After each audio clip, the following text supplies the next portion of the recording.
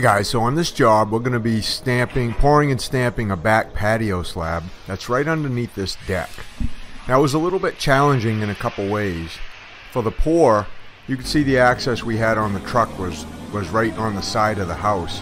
So his chutes wouldn't even reach really with the patio where we needed the concrete. So we had to use our little chute to kind of angle in there and redirect the concrete to get it to where we needed it. So that was one little challenge. Some other challenges on this job were even though it was really small, you know, whenever you're stamping concrete and see we're inside uh, a little area here, we got three walls on three sides and then we got these two posts in the front. That always makes it a little challenging. So you'll see how we dealt with that here a little later in the video when we start stamping this. Now we do have color in the concrete even though it looks gray. Uh, we added a color, a gray color to the concrete. It was called gull gray what that does is it keeps the gull gray helps keep the concrete looking more grayish, kind of like it looks right now as we pour it, versus after it cures out. If you look at the concrete walls there to the left of me, I'm the guy holding the chute. Those kind of look like really, really light gray or almost like a white color. And that's typically what regular concrete cures out to look like is that. So if you want to keep it a little darker, you got to add some gray to it which seems kind of weird, but that's just how it works. We tip we use this gull gray color a lot. Here's Eric showing up, Luke showing up. They were on a different job pouring, you know, uh, a few miles away, and they got done pouring their job. They had a little time in between finishing, so they decided to just run over here and see if we needed any help getting this thing poured. This wasn't a lot of yardage. I believe it was like two yards, two and a half yards of concrete you know, we use, we're pouring it four inches thick. We got that mat of uh, fiberglass rebar in there.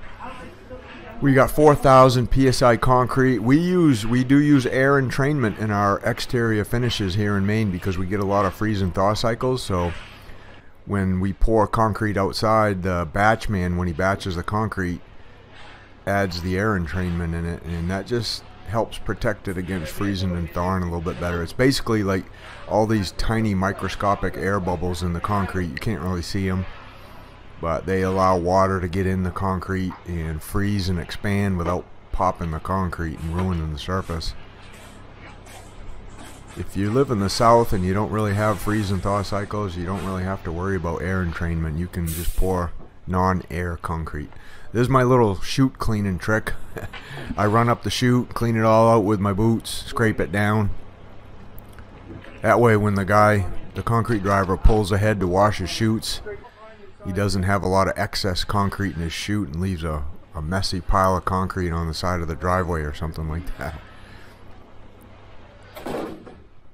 we're going to finish up screeding this. That, that's actually Luke there on the left. He was screeding it. Get this thing nice and level. It, it slopes a little bit out from the back of that wall out towards the front. It slopes about an inch. Not that they're really going to get much water in there because it's that deck has a roof on it. It's a screened in porch upstairs.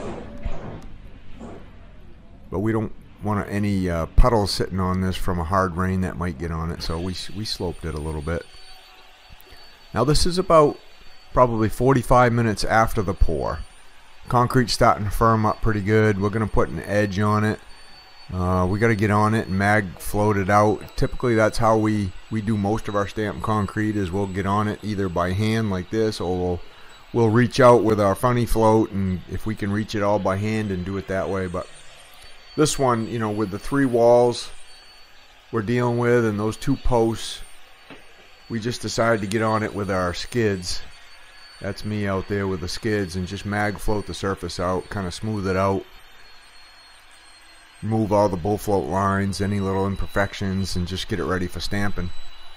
It's fairly firm right now. I mean, I could probably, if I were to push my fingers in the surface, I could probably push my fingers down in a quarter inch or so, maybe maybe three eighths, but more likely a quarter. That's how firm it is without without going any deeper.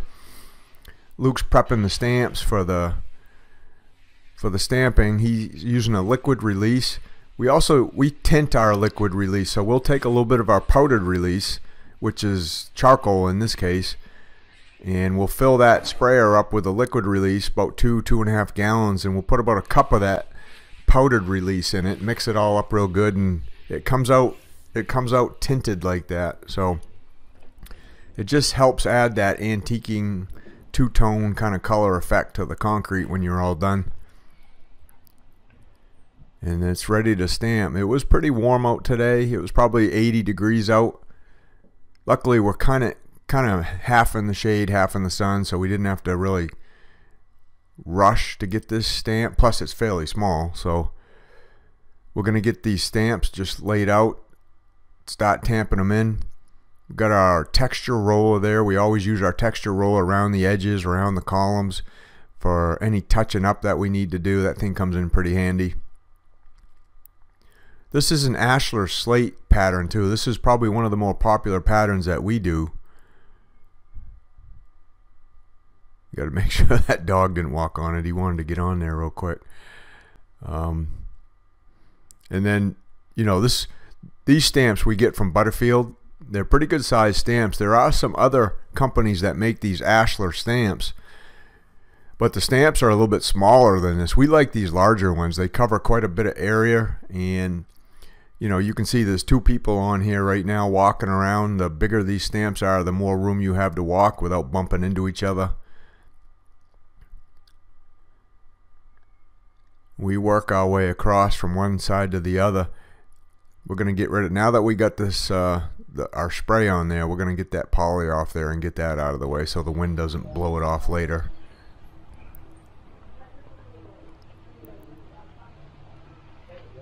It's a little bit, you know, having those three walls in, in the columns to deal with really kind of slows the whole process down versus if you're just doing an outside patio. Having to wrap or roll the stamp up the wall. And then when you roll it up the wall like Luke's doing right now, the pattern a lot of times doesn't doesn't get all the way right up against the wall because you're rolling it up there. So, you know, we texture roller it with the roller. And then if there's any grout lines or anything like that, they don't they don't go all the way to the wall. They might be a couple inches short. So you gotta you gotta cut all them in by hand with your with your hand tool so that really slows things down quite a bit. So when you're doing something like this, you know, something even something small like this, you got to make sure you have enough time to get from one end to the other. And, you know, don't let it deceive you that hey, this is pretty small, this isn't going to take very long when you know, in all actuality from start when we first laid that stamp to when we pulled the last stamp off, it was probably probably 20 or 30 minutes, you know, of time it took us to get across this thing. We keep going back and touching up little things lines we want to make look better surface texture we want to make look better. And it's just it's just part of being number one professionals and being detailed and being just real fussy about how things come out. You know people they pay a lot of money for something like this. They want it to come out looking really really good. So you know if you're if you're stamping for somebody you know you're charging somebody to do this you want to make sure you do your very best make sure it comes out as good as you can possibly make it look with your experience with your skill. And then if you're trying this on your own you know you might want to not only watch these videos but uh, I also I got a stamp concrete course down in the uh, description below it probably worth your while to take that too for what I charge is very, very cheap to learn, you know, all the little details, all the little tricks that we do. I walk you through things. I, I, I talk about it in a little more detail. So if you're thinking of trying this on your own, I would definitely recommend taking that course. Just getting that last one tamped in, make sure I got really good impression in there. And then once I pull it off, if I think I need to tense something up, I'll just take that texture roller and just roll it. Make sure the texture on the surface of those, you know, stones look really, really good. Alright, so that's all stamped. The liquid release with the color in it slowly evaporating. So we'll be back tomorrow, wash it, clean it, give it two or three days, and we'll come back seal it. Now, if you're wondering why we're sawing this, it's just to help control shrinkage cracks. You know, concrete tends to want to crack just on its own. So we're cutting a joint, a nice straight joint in there, and, and we're trying to make it crack in that joint instead of just cracking somewhere randomly. And yes, I mean, we probably could have taken a chance. This is pretty small and not sawed this, but why? I mean, as, as far as doing doing uh, business for a customer, you don't want to take really take that chance and have it crack. You can't really come back and make the crack disappear afterwards. So, putting a couple saw joints in that doesn't really show. Um, I mean, yes, you you can see the saw joint there, but it's just it's part of the deal with stamped concrete. You got to be able to deal with that. Here's the view of the the house we're working at. It was on a really nice lake. I just thought I'd give you a quick shot of that. Really nice day today. There's no wind at all, and it's it's a really nice looking place too. It's three different levels on a nice spot here in Maine. A lot of lakes in Maine. A lot, a lot of lakes. So there's a lot of lake frontage. A lot of houses, a lot of camps on lakes. So Danner and I came back here the next day and we're just washing the the residue of that liquid release off, you know, cleaning all that off, getting it ready to seal. And when we when we do seal it, it's gonna tend to look really close to what when we're done here you'll see about the same sheen and about the same darkness as it looks like here when the water's on it so it's you can kind of get a really good idea what it looks like just by wetting the surface but basically we'll just use a little Dawn dish detergent and some water dump it right on there and just lightly scrub it with a broom like this. And that's going to remove any excess liquid release that got on there. And that liquid release does leave a little bit of a residue so you just don't want to seal right over that. You always want to remove that. Otherwise your sealer is not going to bond very good so let me know down in the comments guys you like this type of stamp patio would you try to do something like this on your own have you ever done stamping before let me know down in the comments